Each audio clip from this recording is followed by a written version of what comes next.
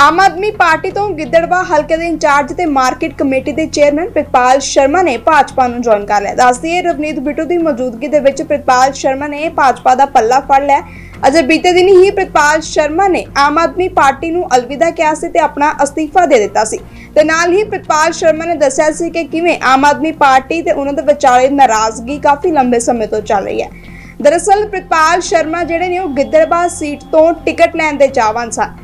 ਪਰ ਆਮ ਆਦਮੀ ਪਾਰਟੀ ਨੇ ਡਿੰਪੀ ਢਿੱਲੋਂ ਨੂੰ ਟਿਕਟ ਦੇ ਦਿੱਤੀ, ਜਿਸ ਤੋਂ ਬਾਅਦ ਪ੍ਰਿਤਪਾਲ ਸ਼ਰਮਾ ਦੇ ਵਿੱਚ ਨਾਰਾਜ਼ਗੀ ਦੇਖੀ ਗਈ ਤੇ ਉਹਨਾਂ ਨੇ ਅਸਤੀਫਾ ਦੇ ਦਿੱਤਾ।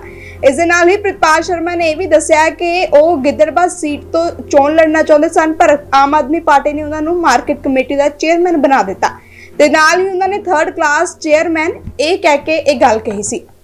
ਦੱਸ ਦਈਏ ਕਿ ਪ੍ਰਿਤਪਾਲ ਸ਼ਰਮਾ ਦਾ ਕਹਿਣਾ ਸੀ ਕਿ ਉਹ ਕਾਫੀ ਲੰਬੇ ਸਮੇਂ ਤੋਂ ਬੜੀ ਹੀ ਇਮਾਨਦਾਰੀ ਦੇ ਨਾਲ ਪਾਰਟੀ ਦੇ ਨਾਲ ਚੱਲ ਰਹੇ ਨੇ, ਪਾਰਟੀ ਦਾ ਕੰਮ ਕਰ ਰਹੇ ਨੇ, ਪਰ ਪਾਰਟੀ ਨੇ ਇੱਕ ਵਾਰ ਵੀ ਉਹਨਾਂ ਦੇ ਬਾਰੇ ਨਹੀਂ ਸੋਚਿਆ ਤੇ ਉਹਨਾਂ ਨੇ ਬਾਹਰੋਂ ਆਏ ਬੰਦੇ ਨੂੰ ਟਿਕਟ ਦੇ ਦਿੱਤੀ, ਯਾਨੀ ਕਿ ਡਿੰਪੀ ਢਿੱਲੋਂ ਨੂੰ ਗਿੱਦੜਬਾਹਾ ਜ਼ਮੀਨੀ ਚੋਣ ਲੜਾਉਣ ਲਈ ਮੈਦਾਨ 'ਚ ਉਤਾਰ ਦਿੱਤਾ, ਪਰ ਪ੍ਰਿਤਪਾਲ ਸ਼ਰਮਾ ਨੂੰ ਇੱਕ ਵਾਰ ਵੀ ਨਹੀਂ ਪੁੱਛਿਆ, ਜਿਸ ਕਰਕੇ ਉਹ ਨਾਰਾਜ਼ ਚੱਲ ਰਹੇ ਸਨ। ਉਹਨਾਂ ਨੇ ਹਾਈ ਕਮਾਂਡ ਦੇ ਨਾਲ ਗੱਲ ਵੀ ਕੀਤੀ, ਪਰ ਹਾਈ ਕਮਾਂਡ ਨੇ ਕਹਿ ਦਿੱਤਾ ਕਿ ਜਿਵੇਂ ਡਿੰਪੀ ਢਿੱਲੋਂ ਕਹਿਣਗੇ, ਉਵੇਂ ਹੀ ਚੱਲੇਗਾ।